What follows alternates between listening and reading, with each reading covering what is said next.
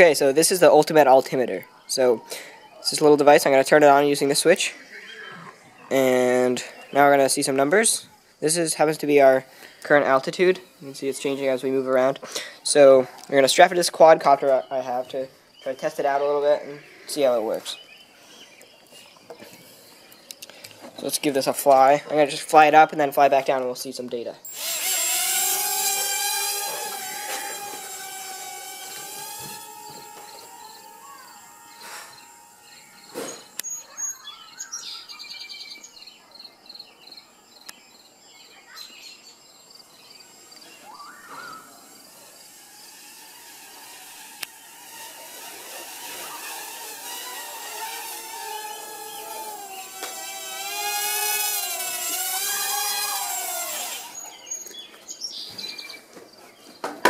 So let's just unstrap this.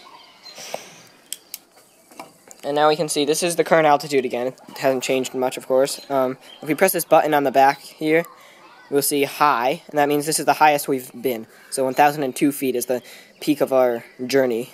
And if we press it again, we'll get to low mode. This is the lowest we've ever been, so 888 feet is that. Um, that's again around here because we haven't gone down that much.